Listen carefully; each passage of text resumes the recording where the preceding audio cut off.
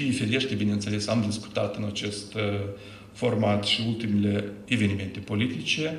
Uh, am uh, analizat situația care s-a creat după anunțul Partidului Democrat din Republica Moldova de sâmbătă.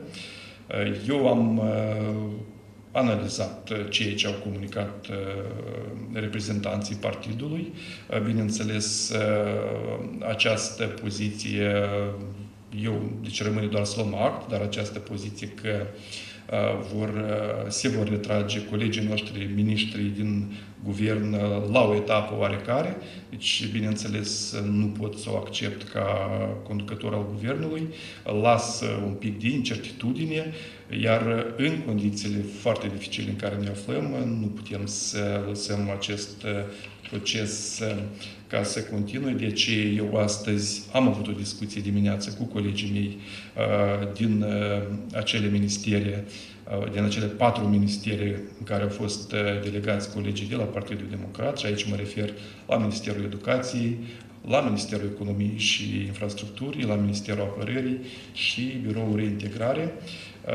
Am discutat cu colegii mei și i-am informat că pentru a evita incertitudinea, astăzi voi ieși cu propunerea în adresa președintelui de a revoca colegii respectiv și de a Uh, readuce, zicem, de a numi alți conducători acestor ministere, ca să nu admitem o situație de incertitudine, de neclaritate, astfel încât aceste ministere să funcționeze uh, așa cum au funcționat până în ziua de astăzi, Uh, sub uh, girul acestor colegi pentru care, cărora le-am mulțumit și continuu să le mulțumesc pentru prestația și pentru munca lor. Dar astăzi, după cum v-am spus, am înaintat președintelui propunerea de revocare a acestor patru miniștri și de demisia ministrului Oleg Țulea, care uh, vineri, care vineri a înaintat cerere de demisie în legătură cu numirea în funcția de ambasador al Republicii Moldova în Republica Ungară.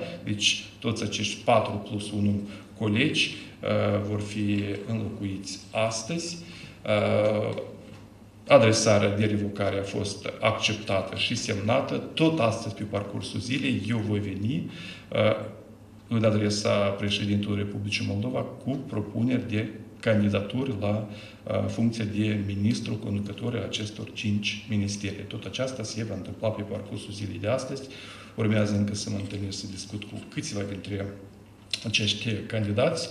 Repet, este o situație complicată, suntem la etapa de uh, elaborare, aprobare a bugetului, bugetelor pentru anul viitor, respectiv ministerele trebuie să fie la nivel maxim de funcționalitate. Deci nu ne putem permite niciun uh, moment de, uh, zicem, incertitudine și, dacă doriți, de implicare a politicului în activitatea guvernului. Eu am spus tot timpul, dacă dorim să avem un guvern care poate gestiona situația în țară, trebuie să lăsăm deoparte de politică, să fie tehnocrat și eu cred că aceasta ne-a reușit până acum, ne va reuși și în continuare.